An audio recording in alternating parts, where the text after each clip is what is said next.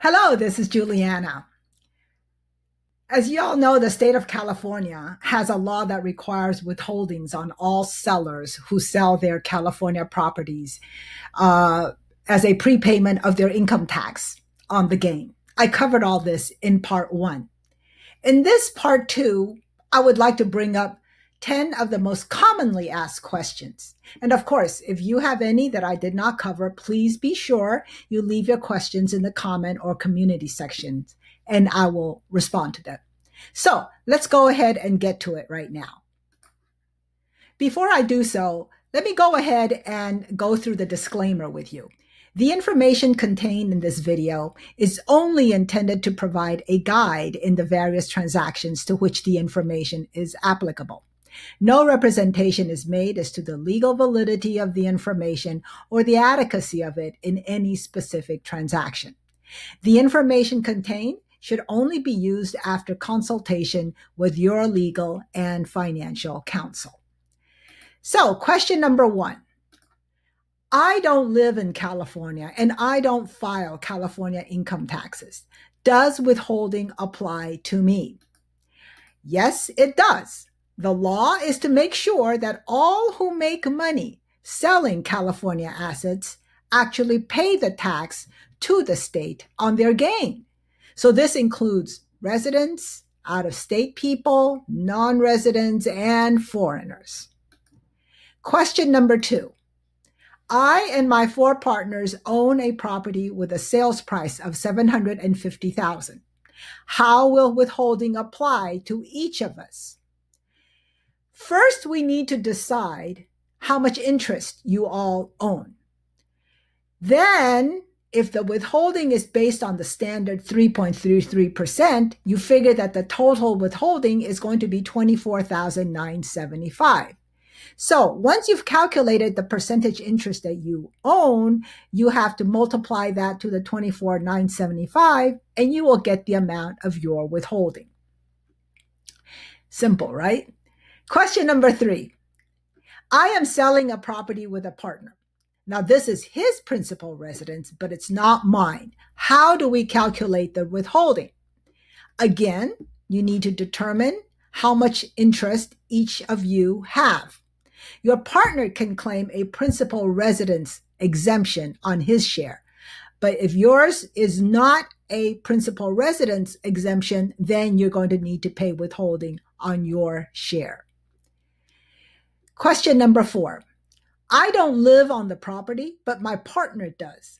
Can I transfer my ownership to my partner so he claims principal residence exemption and there is no withholding? Okay, well, this is a little different. This is a question that you should direct first to your legal and financial counsel. A person can transfer the property to anybody they want, but you have to think about this. If the property was listed on your tax return each year, then the franchise tax board and the IRS actually is going to question what happened to your interest in this property when you do, when you file your income tax returns at the end. And if they don't see that your taxes, uh, that your property is not listed in your income tax return, they may have a question for you. So that is something that your financial and legal counsel should advise you on first. Question number five. Why do I need a tax ID number? Well, without a social security number or a tax ID number, any claim of the required 593 form is void. The withholding of 3.33% will be automatic. However, without the tax ID number, you can still do the alternative withholding claim.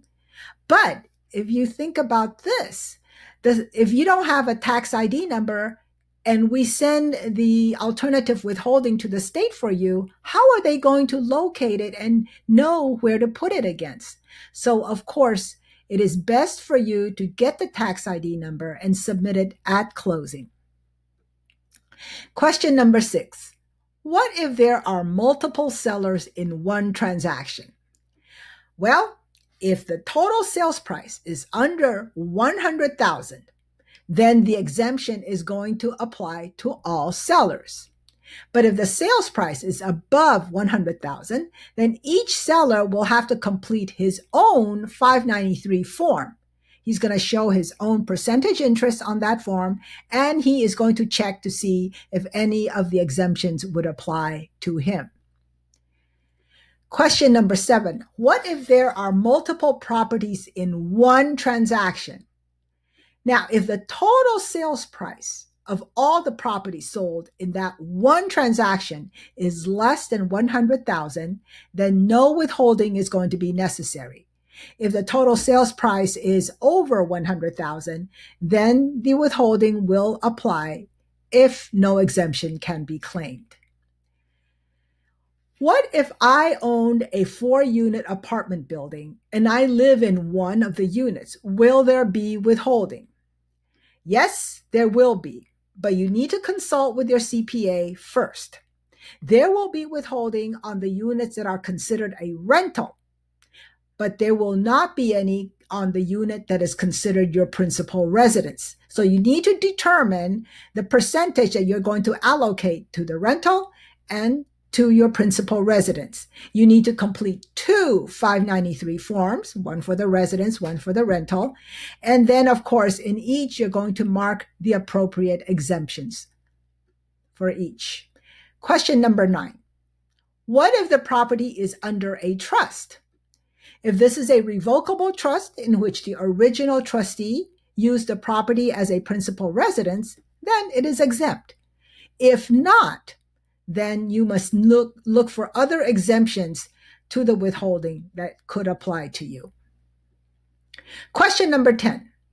Will the escrow agent verify that the exemptions taken are correct?